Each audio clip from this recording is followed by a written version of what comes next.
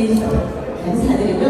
노래를 즐거운 시간 해주셔 많은 응원 부탁드립니다. 두 번째 곡으로 단절 부분 연인을 보내드리겠습니다. 여러분 즐겨 준비 되셨죠? 박수 한번 주세요. 네, 단절 부분 연인을 가겠습니다.